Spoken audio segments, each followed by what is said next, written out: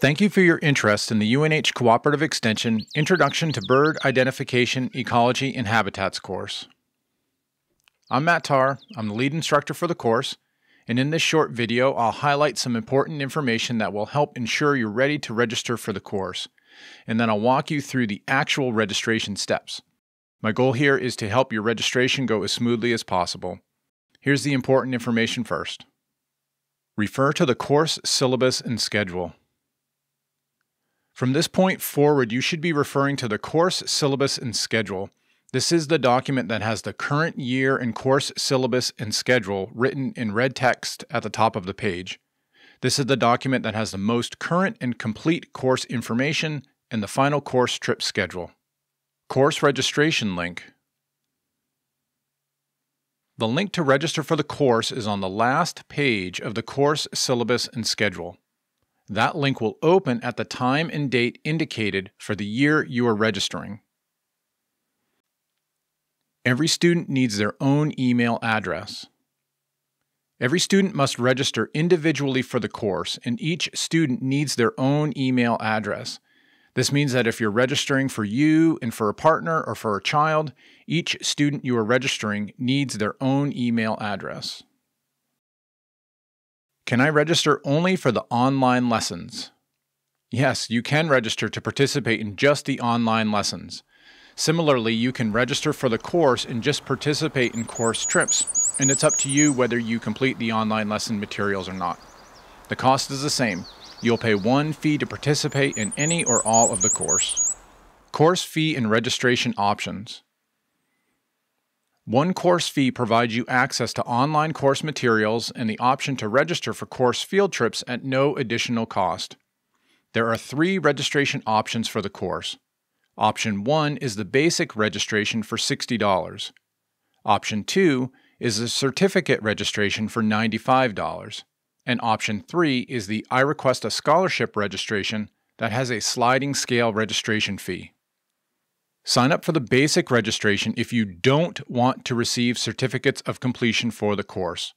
This registration includes weekly optional lesson review quizzes for which the answers are provided at the end of each quiz. Sign up for the certificate registration if you do want to receive certificates of completion for the course. If you don't know why you need a certificate of completion, then you probably don't need one.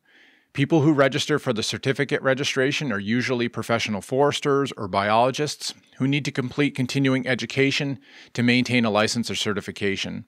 Some people sign up for the certificate registration simply because they want to receive documentation that they completed the course. If you sign up for certificate registration, you'll receive a certificate of completion for each week of online lessons that you complete and for any course field trips that you attend. To receive your certificate of completion for online lessons, you must complete each week's required lesson review quiz and submit that quiz to me for grading. Some folks sign up for certificate registration simply because they want to take and have me grade this additional quiz each week. The I Request a Scholarship registration option is a sliding scale registration where you select to pay whatever registration fee you are able to afford. All course registration fees help us cover the costs associated with developing and delivering this course. You will have access to the online course material until the end of the calendar year that you registered for the course. And if you sign up for certificate registration, you can submit quizzes for grading until the end of that same calendar year. Plan to register for the course on the day that registration opens. I plan to admit over 300 students into this year's course, but even so, the course will reach its capacity surprisingly quickly, usually within about 24 hours. Please know that course trips fill very quickly, and many of the trips will be full before the end of the first day of registration. Registering for course trips. Due to high demand for trips, you must be a registered student if you want to participate in course trips. Course field trips are free, but you must register for every trip you want to participate in. When you register for the course, you'll have the option to immediately register for a total of four trips scheduled for the first six weeks of the course. In April, students will have the option to register for an additional four trips scheduled for the last six weeks of the course. Know which course trips you want before you click the registration link. The registration system will time out on you if you don't already know which trips you want before you begin. I also encourage you to make a list of alternate trips that you would like to attend in case a trip you wanted is full by the time that you register. Also, if you hope to attend trips with a friend, it's best if you are in the same room when you register so you can make any last minute decisions if a trip you wanted is already full.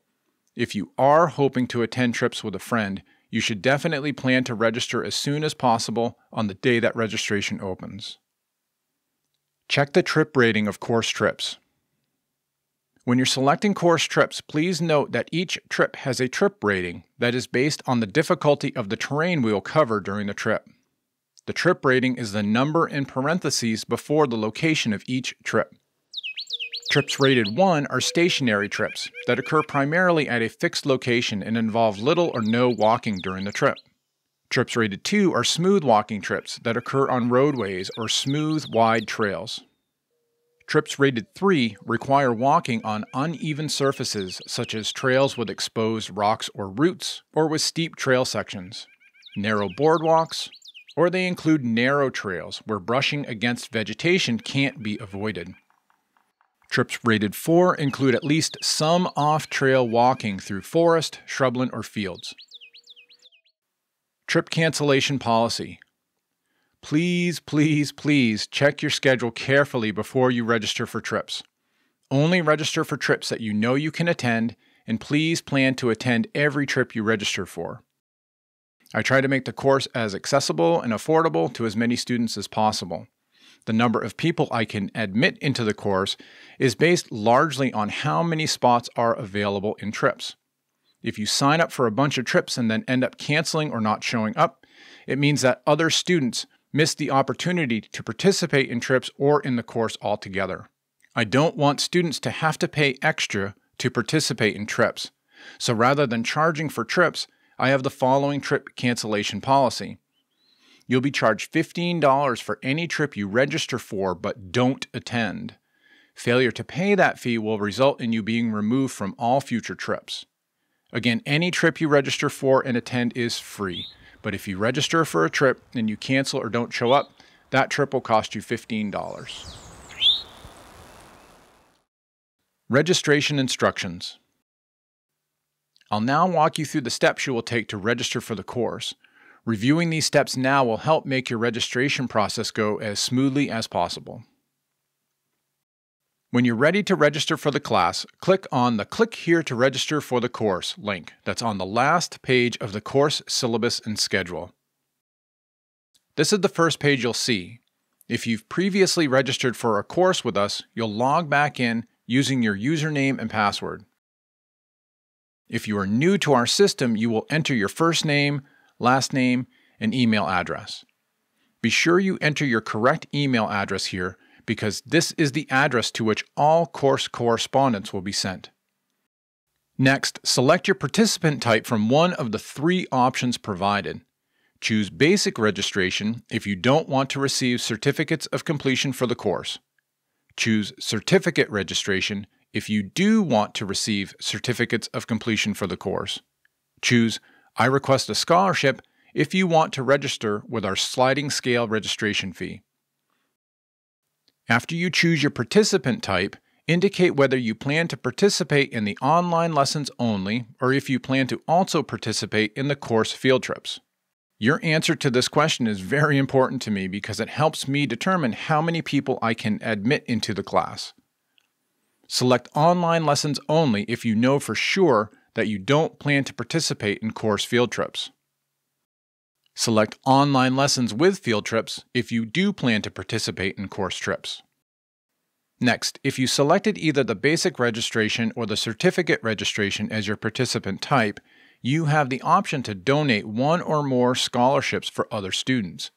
In the drop down menu to the left of Option to Donate Scholarship, select the number of $60 scholarships you would like to purchase for other students. Leave the value at zero if you don't want to purchase any scholarships. If you chose online lessons with field trips, you will then select the field trips you want to participate in. Click the Add button to add a trip to your schedule. Please select no more than four trips total. Also, please only select one trip to the same location on the same day. For example, on April 5th, 2025, there's a 7:30 to 9:30 a.m. trip to Birch Street Community Gardens and another trip to the same location immediately following at 10 a.m. to noon. When there is an early and a later trip to the same location, please only choose one of those trips. Once you've made your field trip selections, double check to be sure that you don't have any scheduling conflicts that would preclude you from participating in these trips. Next, you'll be asked to answer some additional questions that are important for how UNH Cooperative Extension reports its activities to our funding partners. You'll then be asked to review the information you've entered and finalize your registration by entering your payment information. You must complete your payment information with a credit card at the time that you register. Most of the registration steps are similar if you select I request a scholarship as your participant type. After you choose whether you will participate in online lessons only or online lessons and field trips, you'll be asked to enter the registration fee that you're able to afford in $5 increments. Leave the drop down menu at zero if you want to pay $0. You will then enter your field trip selections if you're participating in field trips. And when you get to the page where you enter additional information, the first question asks Do you need a certificate of completion with your registration? Answer yes if you need certificates of completion for the course. Answer no if you don't need certificates of completion for the course.